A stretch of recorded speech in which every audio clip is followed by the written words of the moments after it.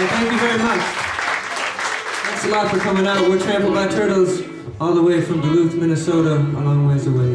And it's a pleasure to be here.